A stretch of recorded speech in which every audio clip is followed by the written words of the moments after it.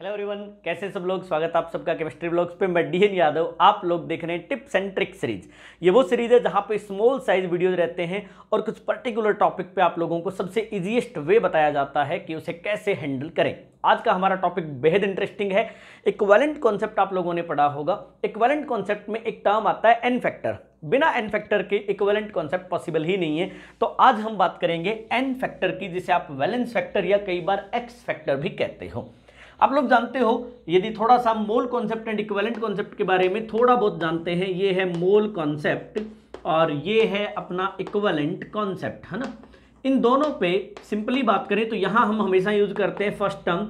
number of moles number of moles number of moles को आप लोग कहते हो ग्राम मोलिक्यूल्स या number of gram molecules number of gram molecules इसका फॉर्मूला क्या है इसका फॉर्मूला होता है just equal to given mass given mass of substance upon molar mass of substance given mass of substance upon molar mass of substance it is the first term in case of equivalent सीधा सीधा compare कर रहे हैं यहां पे क्या है number of moles यहां पे हमारा टर्म होता है number of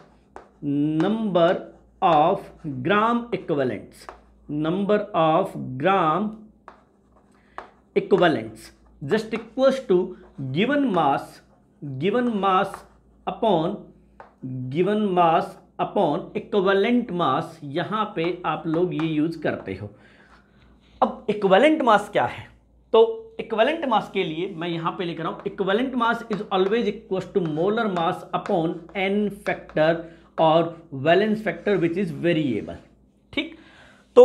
इसका मतलब जब आप मोल कैलकुलेट करते हो इससे आप लोगों को पता चल जाएगा मोल कैलकुलेट करने का सीधा तरीका है given mass upon molar mass यदि आपको ग्राम इक्वलेंट कैलकुलेट करने तो given mass upon equivalent mass and equivalent mass just equal to what तो ये हो जाएगा given mass upon equivalent mass की जगह मैं रख देता हूं molar mass upon N factor मतलब आप सीधा सीधा कैलकुलेट कर सकते हो यहां से आपको स्पष्ट दिख रहा होगा एकदम क्लियर क्रिस्टल क्लियर कि किसी भी सब्सटेंस के W upon M represent the moles तो मोल्स को एन फैक्टर से मल्टीप्लाई कर दो क्या मिल जाएगा इक्वलेंट आपको मिल जाएंगे ठीक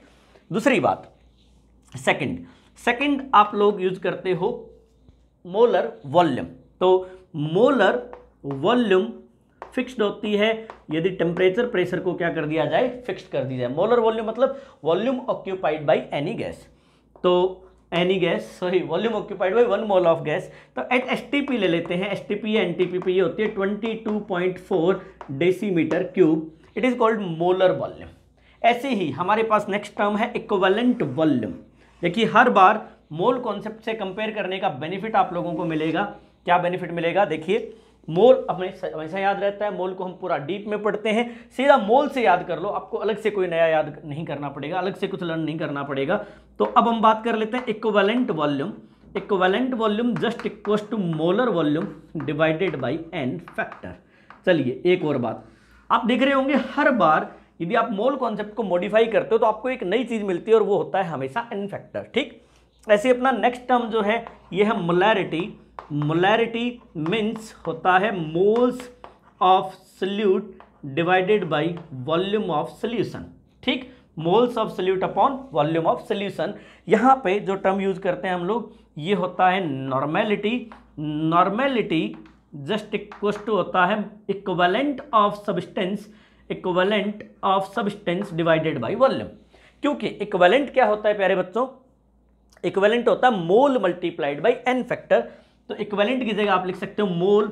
multiplied by N factor it means आप यहाँ पर रिलेट कर दीजिएगा the normality is just equals to molarity divided by sorry multiplied by N factor this term is molarity this term is molarity clear कुल मिला के आप लोगों ने अभी सिर्फ ये देखा एन फैक्टर पे आए नहीं हम लोग आने वाले हैं जस्ट अभी आपने देखा कि एन फैक्टर कहाँ यूज होता है एन फैक्टर यूज होता है इक्वलेंट मास को डिफाइन करने में equivalent number of gram equivalent define करने में जैसे इक्वलेंट मास में mass molar mass upon N factor equivalent calculate करने mole multiplied by N factor volume calculate करनी equivalent molar volume upon N factor normality calculate करनी है molarity multiplied by N factor इसका मतलब यदि आप एन फैक्टर सीख गए तो फिर आप लोगों को इक्वलेंट कॉन्सेप्ट अप्लाई करने में कहीं दिक्कत नहीं आएगी और मेरी फुल गारंटी है कि आप हर जगह यूँ अप्लाई करोगे इक्वलेंट कॉन्सेप्ट हम क्यों यूज़ करते हैं किसी भी मोल कॉन्सेप्ट के क्वेश्चन को सिंगल स्टेप में करना हो तो फिर आप लोग क्या करिएगा इक्वलेंट कॉन्सेप्ट यूज़ करिएगा तो नेक्स्ट बात करते हैं एन फैक्टर कैसे डिफाइन करते हैं एक स्क्रीनशॉट ले लीजिए फिर आगे बढ़ते हैं तो फर्स्ट आप लोग देखिए यहाँ पे एक वार्निंग लिखी हुई है इसे बहुत ध्यान से देखना सारे लोग यही गलत करते हैं यही सबसे बड़ा मिसकॉन्सेप्ट है यहाँ लिखा हुआ है कि किसी भी कंपाउंड के लिए जब आप एन फैक्टर डिफाइन कर रहे हो तो सिर्फ एक ही केस में आप लोग एन फैक्टर डिफाइन करें जबकि आप उस कंपाउंड का रोल अच्छे से समझ पा रहे हैं उस केमिकल रिएक्शन में यदि आपने इस वार्निंग पर ध्यान नहीं दिया तो आपका एन फैक्टर श्योर गलत होगा तो मेरे प्यारे बच्चों ऐसे ऐसे क्वेश्चन आप लोगों को यहाँ पे कराऊंगा ऐसे ऐसे एग्जांपल्स दूंगा कि आप लोगों को यकीन हो जाएगा कि एन फैक्टर बहुत आसान है लेकिन मिसकॉन्सेप्ट कैसा है बहुत तकड़े वाला गलतियाँ बहुत ज़्यादा होती है तो शुरू करते हैं सबसे पहली बात मैंने कह दिया कि जब तक रोल ऑफ कंपाउंड डिफाइंड नहीं है आप एन फैक्टर डिफाइन नहीं करें तो टाइप वन सबसे पहले हम लोग रिएक्शन ले रहे हैं acid base acid base neutralization neutralization reactions देखो मैंने पहले ही टाइप डिफाइन कर दिया है it is a particular type reaction where one acid react with base to give salt and water it is a process where acid plus base may be it is weak और strong give you salt plus water यहाँ पे ये बात important नहीं है कि वो week है या स्ट्रांग है ठीक एसिड बेस न्यूट्रलाइजेशन रिएक्शन में तीन सब्सटेंस मिले हमें एक मिला एसिड एक मिला बेस एक मिला सॉल्ट सबसे पहले बात करते हैं N factor of acid N factor of acid या वैलेंस फैक्टर ऑफ एसिड देखो वैलेंस फैक्टर है क्या वैलेंस फैक्टर शो करता है कि उस टाइप ऑफ रिएक्शंस में वो कंपाउंड कितनी वैलेंसी चेंज कर रहा है यहाँ वैलेंसी ब्रॉड टर्म है जिसे आप इक्वलेंट कॉन्सेप्ट की डिटेल क्लास में देखना वहाँ पे आप लोगों को फील आएगी यहाँ पे हम क्योंकि ट्रिक की बात करें तो सीधे सीधे बात करेंगे N factor of acid is just equals to basicity of acid. Basicity of acid, and the basicity of acid is just equals to what is basicity? Basicity of acid means number of H positive ions available for neutralization. कितने H positive ion उसमें है जिन्हें वो neutralise कर सकता है example से देखते हैं सीधा सीधा आपके पास है एक कंपाउंड एच यदि आप इसे देखेंगे तो इस पर आपको मिलेगा वन एच पॉजिटिव ऐसे ही देखिए आप लोग H two S O three it can release two H positive ion S O three two negative ion H two S O four positive ion and sulphate positive H three P O two hypo H positive plus H two P O two negative देखिए हर एक compound में एक oxygen ऐसा होता होगा sorry एक कोई ना कोई हाइड्रोजन ऐसा होगा जो एच पॉजिटिव के फॉर्म में आयोनाइज हो सके सिर्फ वही एच पॉजिटिव न्यूट्रलाइज होता है वही एन फैक्टर डिफाइन करता है सीधे हाइड्रोजन देख के आंसर मत दे देना H three P O two का स्ट्रक्चर क्या कहता है एच पी यहाँ पे क्या है एक ही हाइड्रोजन है जो ऑक्सीजन पे जुड़ा है जो ऑक्सीजन पे जुड़ा है वो पोलर बॉन्ड पे है इसका मतलब इस पर पार्सल पॉजिटिव है इट इज आयोनाइजेबल बॉन्ड इसीलिए सिर्फ एक ही एच पॉजिटिव रिलीज होगा ऐसी H three P O three it can release two H positive ions and H P O three two negative H three P O four it can release three H positive ions and P O four यानी phosphate ions सभी में तीन hydrogen है लेकिन इसमें एक oxygen पे जुड़ा है इसमें दो जुड़े हैं इस पर तीन ओ एच बॉन्ड है जितने ओ एच बॉन्ड होंगे वैसा ही ऐसे ही आप लोग देख लीजिएगा H two C two O four oxalic acid it can release H positive ions and C O O negative two ions या C O O two negative oxalate आए एक यहाँ पे एक्सेप्शनल है और एक्सेप्शनल है अपना H H three three three B B O O three never give any H positive but when it react with water it accept one OH negative and give the complex BOH whole 4 negative and release one H positive from water तो ये इतने सारे example मैंने लिए इन सब में n factor क्या है तो यहाँ देखिए HCl का एन फैक्टर यहाँ पे मैं लिख रहा हूँ एन फैक्टर क्या है इन सब के लिए तो आप देख रहे हो एक एच पॉजिटिव इसने रिलीज किया ये इसकी बेसिसिटी है बेसिसिटी इसका क्या है एन कितना आसान है देखो टू यहाँ पे टू यहाँ पे वन यहाँ पे टू यहाँ पे थ्री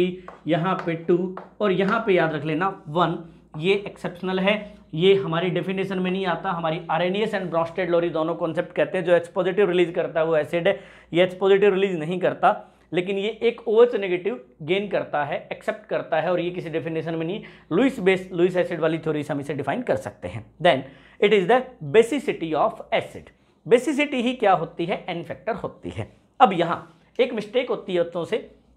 तो मैं यहाँ पे दो नोट लिख रहा हूँ सौ सौ रुपये के नोट है हंड्रेड रुपये का एक नोट है तो पहला नोट ये है कि always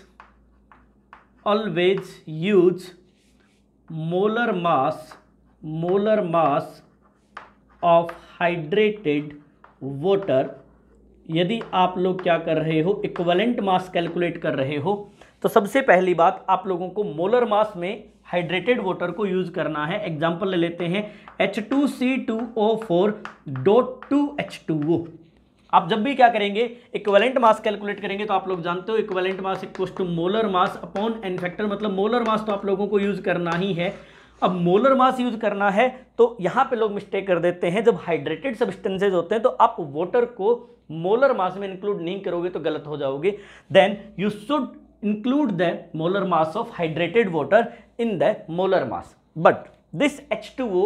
never affect the N factor ये जो हाइड्रेटेड वाटर होता है ये एन फैक्टर को डिफाइन नहीं करता एन फैक्टर को अफेक्ट नहीं करता ये मोलर मास को अफेक्ट करता है इसका मतलब ये मास को अफेक्ट करता है second thing second most important thing कि जब भी आपको रिएक्शन गिवन हो तो कोई एसिड कितने एच पॉजिटिव वहां रिलीज कर रहा है रियली वो उसकी बेसिसिटी है ये सीधे सीधे उठा के मत चिपका देना यदि रिएक्शन गिवन हो इफ रिएक्शन इज गिवन मान लो यहां पे एक रिएक्शन दे रखा है H three P O four when react with N A O H it give you N A H two P O four and water in this reaction the four loss only one H positive इसका सिर्फ एक H positive यहाँ पर release हुआ इसका मतलब है यहाँ पे आप लोग इसका एन फैक्टर लेंगे वन प्लीज़ ध्यान रखना रिएक्शन दे रखा हो तो यदि रिएक्शन नहीं दे रखा है सीधा सीधा किसी ने पूछा H three P O four का एन फैक्टर बताओ आंसर होगा three H three P O three का बताओ two H three P O two का बताओ one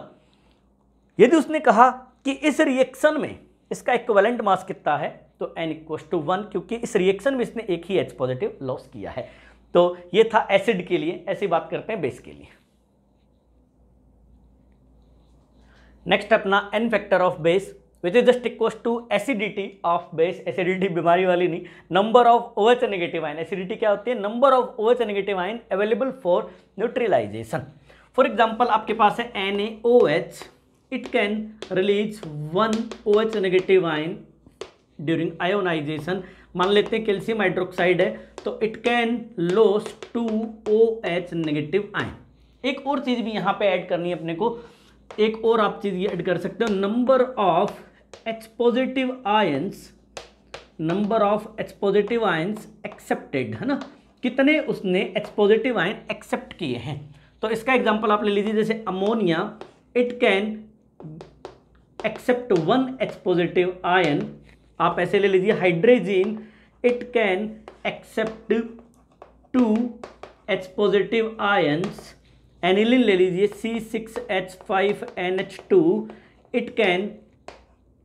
it can accept one H positive ion कुल मिला के दो चीज़ें देखनी है या तो वो कितने ओ एच नेगेटिव रिलीज कर रहा है या फिर वो कितने एच पॉजिटिव एक्सेप्ट कर रहा है in this case the acidity अब एसिडिटी डिफाइन करना एसिडिटी मतलब एन फैक्टर तो एन फैक्टर या एसिडिटी आप लोग डिफाइन कर रहे हो तो इसके लिए आ जाएगा वन इसके लिए आ जाएगा टू इसके लिए वन इसके लिए टू इसके लिए वन बहुत आसान है सीधा सीधा ठीक दो के लिए सीख लिया पहले वार्निंग को ध्यान रखना बार बार कह रहा हूँ जब तक आप टाइप ऑफ रिएक्शन या कंपाउंड के रोल को इस रिएक्शन में नहीं जानते हो तब तक प्लीज़ आप लोग डिफाइन नहीं करना ये जो मैं पढ़ा रहा हूँ अभी जस्ट ये सिर्फ और सिर्फ एप्लीकेबल है एसिड बेस रिएक्शन पे एसिड बेस रिएक्शन में एसिड के लिए एन फैक्टर होता है बेसिसिटी बेस के लिए होता है एसिडिटी और तीसरा अपना सब्सटेंस जो है वो कौन है मेरे प्यारों सॉल्ट है ना तो N factor of salt N factor of salt देखिए N factor of salt salt के लिए एन फैक्टर होता है net charge net charge net charge मतलब किसी कैटाइन या एनाइन को उठा लीजिए उसका नेट चार्ज कैलकुलेट कर लीजिए कैसे कैलकुलेट करते हैं दो केस बनते हैं आप एक साथ ऐसे भी कर सकते हो अलग अलग केस से लोगे तो आपको थोड़ा ज़्यादा मज़ेदार लगेगा case first when charge of cation is just equal to charge of anion charge of anion cation and anion का चार्ज सेम हो तो इस केस में आप लोग लेंगे N factor is just equal to charge of cation या charge of anion जो आपका मन करे उसको ले लेना माइ प्लस माइनस मत लगाना ऑलवेज पॉजिटिव एन फैक्टर कभी भी नेगेटिव नहीं होता इट मे बी फ्रैक्शनल है ना ये वन हो सकता है ये फ्रैक्शनल हो सकता है ये क्या नहीं होता जीरो नहीं होता ये नेगेटिव नहीं होता तो N factor equal to charge of cation for example example ले लिया अपन ने N A C L it is N A C L दोनों का चार्ज सेम है एन फैक्टर हो जाएगा one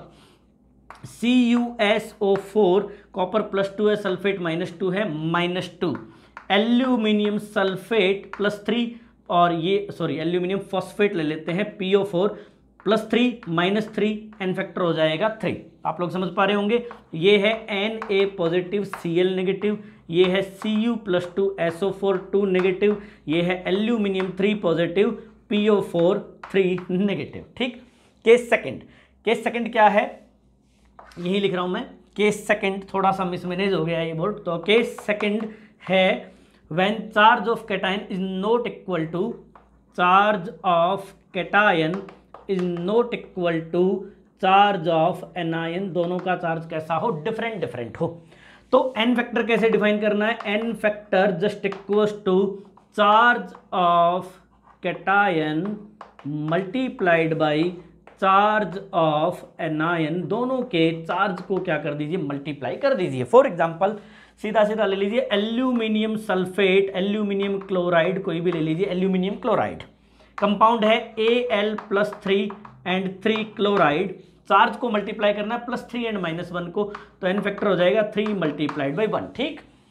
ऐसे ही आपने ले लिया जैसे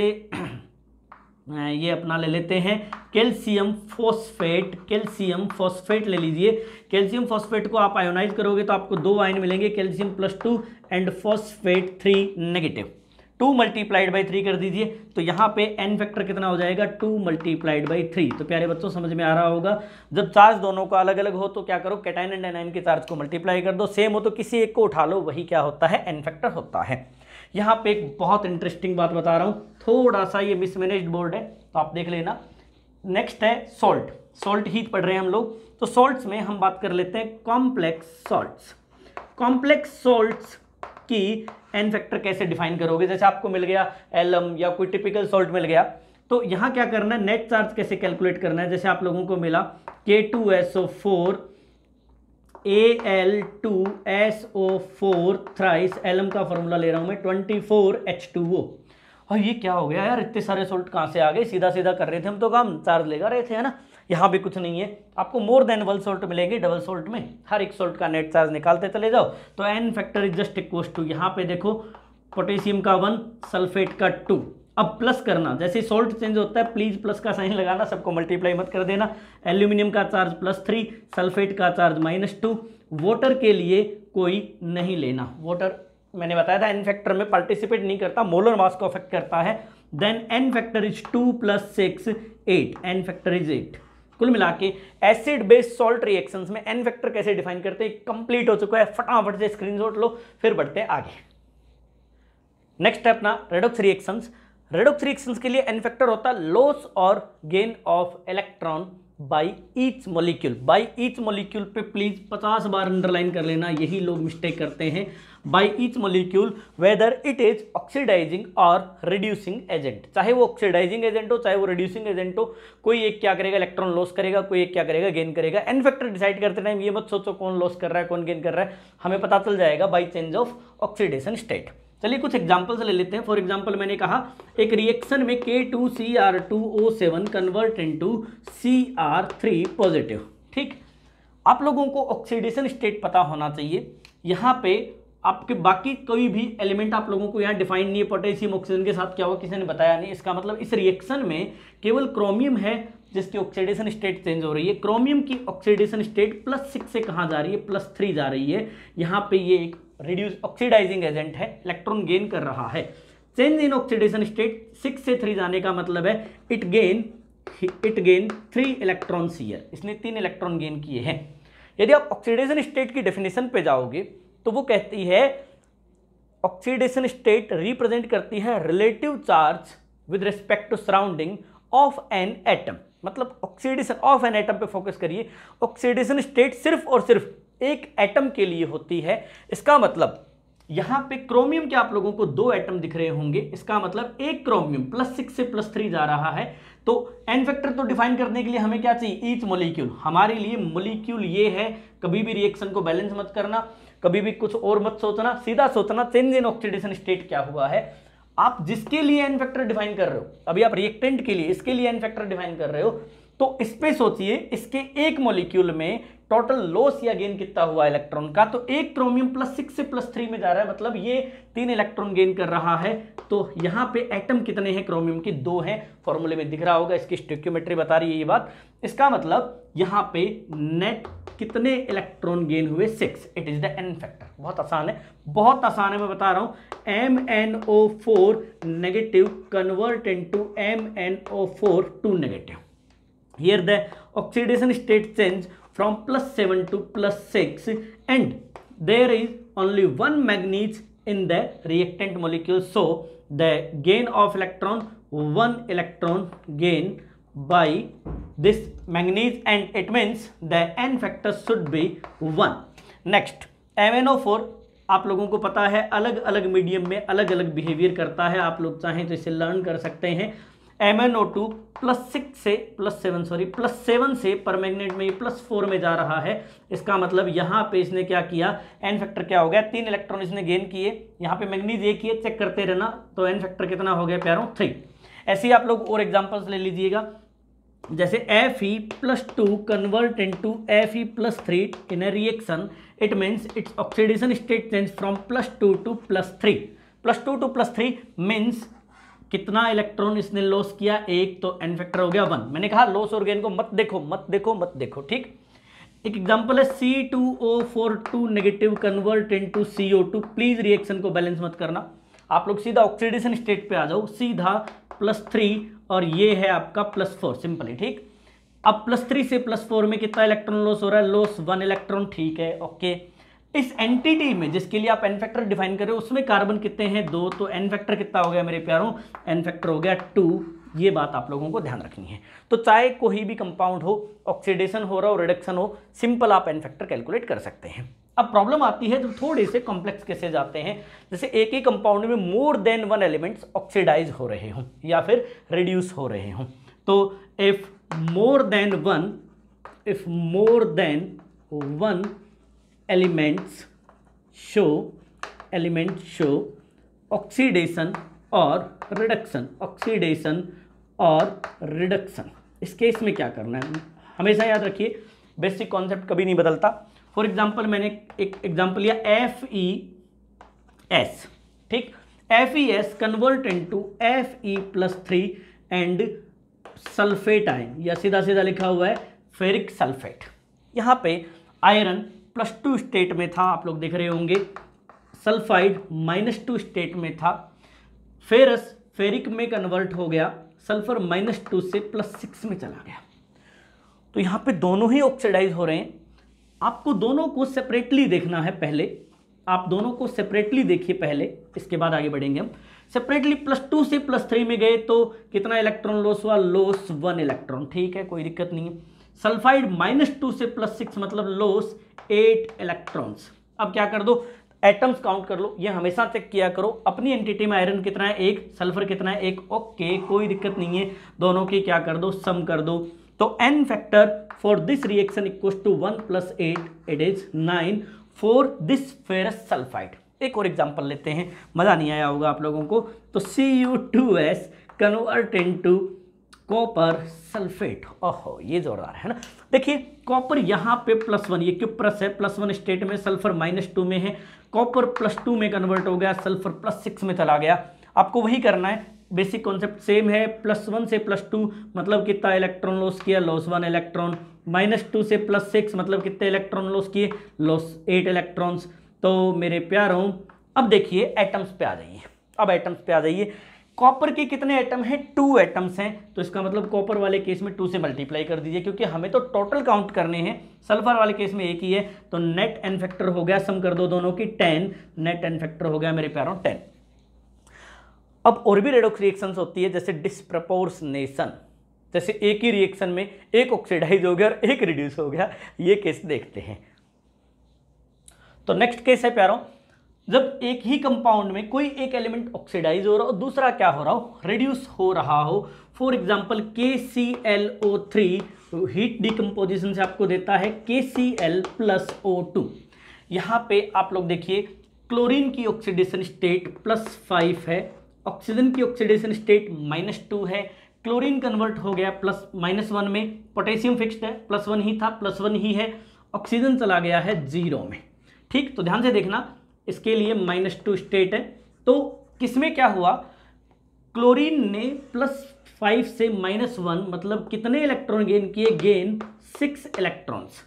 ऑक्सीजन में माइनस टू से जीरो मतलब लोस टू इलेक्ट्रॉन्स सबसे पहले देखिए ऑक्सीजन एटम कितने हैं थ्री तो यहाँ पे क्या कर दीजिए थ्री से मल्टीप्लाई कर दीजिए ऐसे सभी रिएक्शंस में एक खास बात होती है क्योंकि ये इसमें बाहर से कोई फॉरेन मटेरियल नहीं आ रहा ये खुद ही क्या कर रहा है ऑक्सीडाइज एंड रिड्यूस हो रहा है इसका मतलब इसमें नेट जितना लॉस होगा उतने ही गेन होंगे इलेक्ट्रॉन्स तो आप लोगों को यहाँ पे क्या करना है नेट कितना हुआ किसी एक को देख लीजिए सम मत कर देना तो यहाँ पे एन फैक्टर एक्चुअल में कितना होता है नेट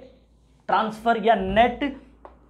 ट्रांजिशन ऑफ इलेक्ट्रॉन्स तो आप लोगों का यहाँ पे हो गया सिक्स क्योंकि सिक्स इलेक्ट्रॉन क्या हुए गेन हुए सिक्स इलेक्ट्रॉन क्या हुए लॉस तो एग्जैक्टली क्या गए दोनों के दोनों सेम रहेंगे हमेशा तो किसी एक को उठा लो सीधा सीधा क्या कर लो उसे एन फैक्टर बना दो ठीक चलिए आगे देखते हैं नेक्स्ट है अपना case three case third case third में क्या है डिस्प्रपोर्सनेशन डिस्प्रपोर्स नेशन देश से बड़ा तो इसका स्पेलिंग है डिस्प्रपोर्शनेशन रिएक्शन है ना डिस्प्रपोर्सनेशन रिएक्शन में क्या होता है एक कंपाउंड है इस कंपाउंड में ए एंड बी कोई एलिमेंट कंपाउंड सॉरी एक कंपाउंड है इस कंपाउंड में एक ही एलिमेंट में एक बार ऑक्सीडेशन होता है और सेम टाइम सेम एलिमेंट क्या करता है रिडक्शन करता है सेम एलिमेंट ऐसा करता है तो एक एग्जाम्पल लेंगे तभी बात बनेगी तो एक एग्जाम्पल ले लेते हैं अपने पास है मैग्नेटाइन एग्जाम्पल ले रहा हूँ manganate M N O four two negative क्या करता है पर मैग्नेट आयन में कन्वर्ट होता है साथ में बनाता है एम एन ओ टू देखो प्यारो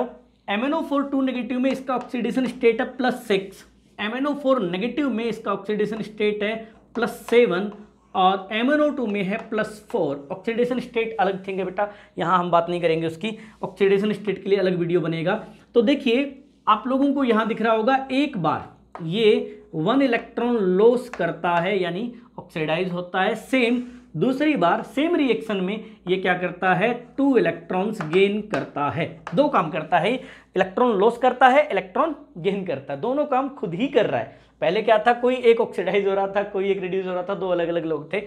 इस केस में आप लोगों को एक ट्रिक बनेगी लेकिन सबसे लास्ट में पहले कॉन्सेप्ट सिखाता हूँ इस रिएक्शन को आप दो बार लिख लो इस रिएक्शन को क्या कर लो दो बार लिख लो पहले इस रिएक्शन में लिख लो M N O four two negative convert into M N O four negative please balance करने की कोशिश बिल्कुल मत करना तो यहाँ पे आप लोगों को एन फैक्टर डिफाइन करना अकेली रिएक्शन के लिए तो आपने लिखा यहाँ पे प्लस सिक्स से प्लस सेवन दूर से दिख रहा है एन फैक्टर यहाँ पे कितना हो जाएगा वन दिख रहा है फिर दूसरी रिएक्शन ले लेना दूसरी रिएक्शन में आप करना M N O four two negative convert into M N O two अब इस रिएक्शन में आपको दिख रहा है plus six convert into plus four तो आप लोगों को दिख रहा है यहाँ पे फोर से सिक्स मतलब एन इक्व टू टू अलग अलग आपको ऐसे डिफाइन कर लेना एन वन एन टू इन्हें नाम दे दीजिए n one it is n two clear अब हमें निकालना overall n factor for this species तो देखिए सबसे पहले क्या करें इक्वलेंट मास को डिफाइन करें equivalent mass is just equal to molar mass अब इसका इक्वलेंट मास कितना होगा अपॉन एन वन ऐसे ही आप लोग ले लीजिए इस वाले केस में एन फैक्टर क्या होगा एन टू तो इस वाले केस में इक्वलेंट मास क्या होगा इतना दो इक्वलेंट मास को सम कर दीजिए ध्यान से देखना ध्यान से देखना प्यार बच्चों इस कंपाउंड का इक्वलेंट वेट आप डिफाइन कर रहे हो एन फैक्टर यूज करते हुए इस रिएक्शन के दो पार्ट मैंने कर लिए पहले पार्ट में आप लोगों को एन फैक्टर मिला एन वन इससे आपने इक्वलेंट मास डिफाइन किया फिर दूसरे से किया दोनों इक्वलेंट मास की सम कर दो इट इज फाइनल और ओवरऑल इक्वलेंट मास ठीक इक्वलेंट मास क्या होता है आप लोग जानते हो equivalent mass is just equal to molar mass upon n factor overall मैं यहां लिख देता हूं N over all N overall मतलब कुल मिला के कितना एन फैक्टर होगा तो इसी को डिराइव कर लो एन ओवरऑल आप लोगों को मिल जाएगा मोलर मास को कैंसिल कर दो तो one upon n overall just equal to one upon n one plus one upon n two clear तो एन ओवरऑल कितना हो जाएगा इसको पहले सोल्व कर लो तो ये हो जाएगा n one n two n one plus n two तो n one upon n overall just equal to n one plus n two divided by n one n two इसको उल्टा कर लो रेसिप्रोकल ले लो इसका n overall just equal to n one n two divided by n one plus n two आप इसे सीधा सीधा लर्न कर लें नीट वाले तो बिल्कुल इसे सौ परसेंट क्या कर लें लर्न करके पटक दें ठीक तो जब भी डिस्प्रपोर्शनेशन रिएक्शन मिले तो सीधा ये फॉर्मूला यूज करें इससे ओवरऑल एन फैक्टर आ जाएगा फिर इसके मोलर मास को सीधा ओवरऑल एन फैक्टर से डिवाइड कर दें इससे क्या आ जाएगा इसका इक्वलेंट वेट आ जाएगा ठीक है बाद में सेपरेशन मत करना सीधा सीधा ओवरऑल ही निकाल लेना ओवरऑल एन फैक्टर आप लोगों को समझ में आ गया होगा एक और एग्जाम्पल लेते हैं तो तो एक और एग्जाम्पल लेते हैं P four convert into P H three convert into PH3 and H3PO2. It is a disproportionation reaction where the oxidation state of phosphorus change from zero to minus three and zero to यहाँ पे आप oxidation state निकाल लीजिएगा आप लोगों को plus one state मिलेगा ठीक मैंने फिर वही अपना स्टेट मेथड वही रहेगा पहले रिएक्शन को क्या कर लो सेपरेट कर लो P four convert into P H three don't use balanced equations balance करना ही नहीं है ज़रूरत ही नहीं है जीरो से माइनस थ्री पे जा रहे हो आप लोग एटम कितने हैं यहां से यहां कितने इलेक्ट्रॉन गेन हुए gain three electrons and gain three electron multiplied by atom ये भूल गए तो फिर वो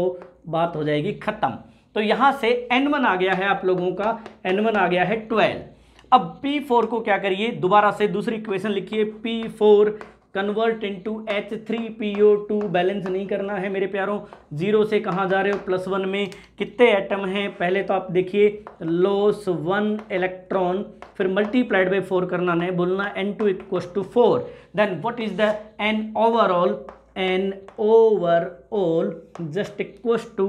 N one N two मतलब twelve multiplied by four twelve multiplied by four divided by twelve plus four it is the final answer for this reaction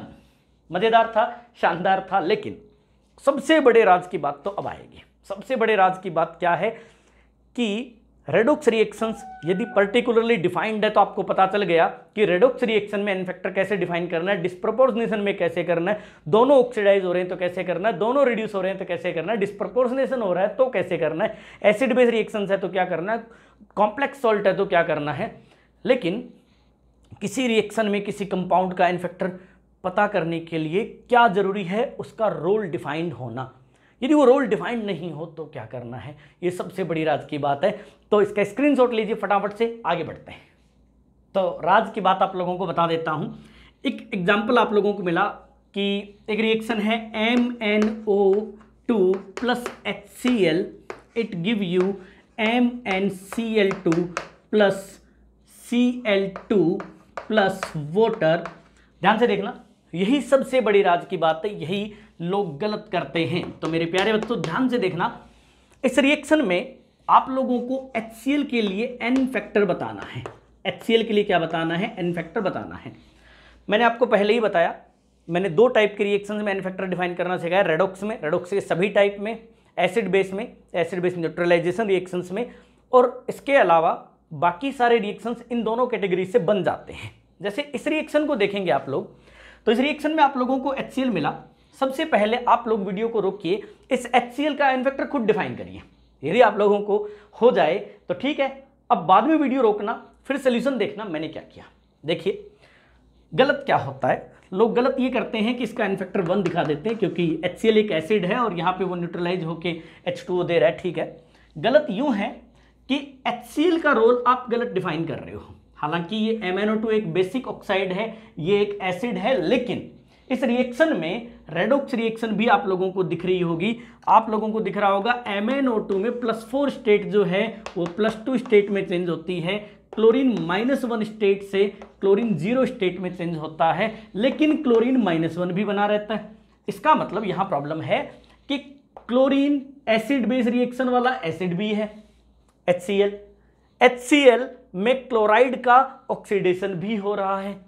नहीं भी हो रहा है सोल्ट भी बना रहा है ऐसा होते ही ऐसा होते ही इसका रोल एम्बिगस हो जाता है जैसे किसी कंपाउंड का रोल आप लोगों को समझ में नहीं आ रहा हो तो उस पूरी रिएक्शन में उसे ढूंढिए जिसे आप जानते हो जैसे मेले में कोई खो जाए तो वो अपने परिचित को ढूंढता है वैसे ही आप लोग सबसे पहले ढूंढिए कि इसमें आप ऐसा कोई ढूंढिए जिसकी नेचर एकदम डिफाइंड हो एंड इस रिएक्शन में M N O two well defined है एम एन ओ टू इस रिएक्शन में सिर्फ एक काम कर रहा है प्लस फोर से प्लस टू में जा रहा है मतलब यहां पे सिर्फ और सिर्फ ये एक ही रोल है इसका and it is oxidant oxidising agent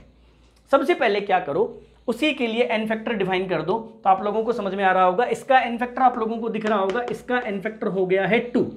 for this plus four से प्लस टू एक ही आइटम है टू एन फैक्टर दिख रहा होगा आप लोगों को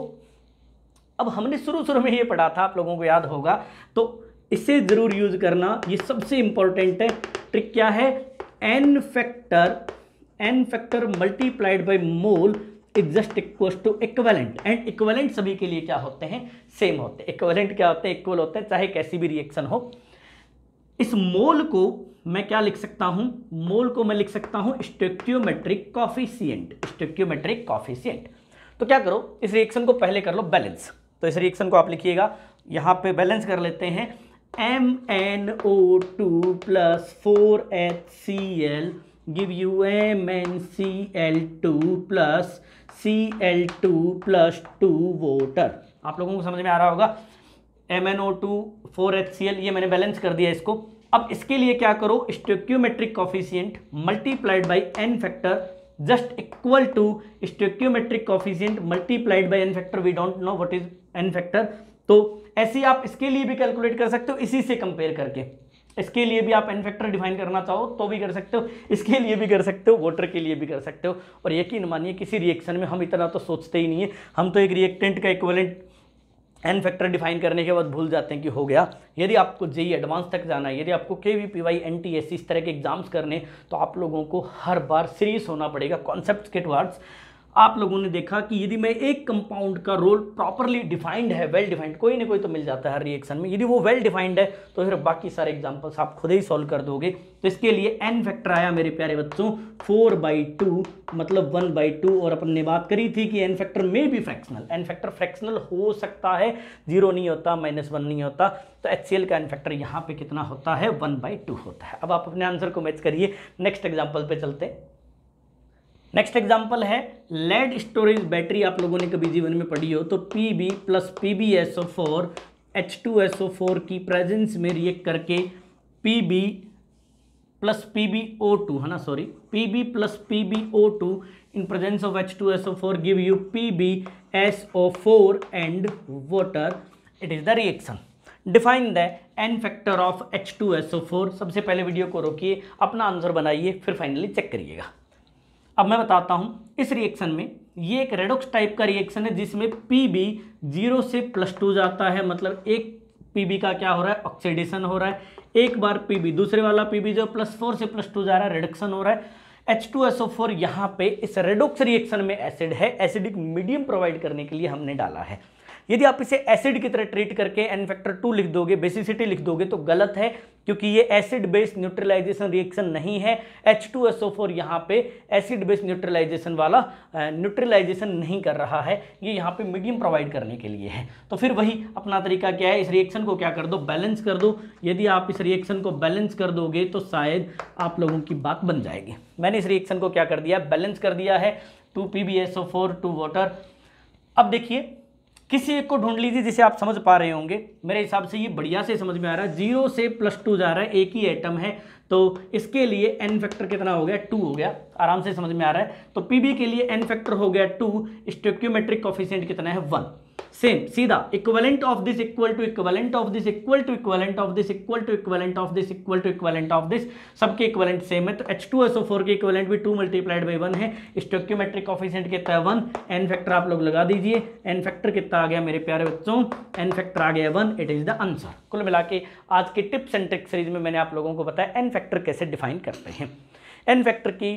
और भी कुछ चीज़ें पॉसिबल है जो कि आपको डिटेल्ड लेक्चर में मिल जाएगी लेकिन मेन मेन सारी बातें मैंने आप लोगों को बता दी है तो डियर स्टूडेंट्स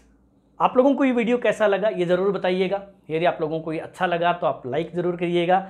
और चैनल को सब्सक्राइब कर लीजिए क्योंकि यहाँ पर एक से बढ़कर एक कंटेंट मिलेगा यहाँ पर फिजिकल ऑर्गेनिक इनऑर्गेनिक के रेगुलर लेक्चर्स चल रहे हैं टिप्स एंड ट्रिक सीरीज में आप लोगों को कुछ शॉर्ट वीडियोस मिल रहे हैं थोड़ा ये वाला वीडियो थोड़ा सा बड़ा हो गया था क्योंकि इसका कॉन्सेप्ट जो है इतना अच्छा था बड़ा था और मेरा मन कर गया कि मैं पूरा ही बता दूँ तो लगभग सारी बातें मैंने आप लोगों को बता दी हैं तो प्यारे बच्चों चैनल पे आप लोगों को यदि सब चीज़ें अच्छी लग रही है तो आप अपने कमेंट्स ज़रूर करिएगा आपके कमेंट्स मेरे को बहुत मोटिवेट करते हैं मैं हर एक कमेंट को दिल से पढ़ता हूँ तो मैं आपके कमेंट्स का करूँगा वेट मिलते हैं अगले वीडियो में अगली क्लास में तब तक के लिए बाय बाय टेक केयर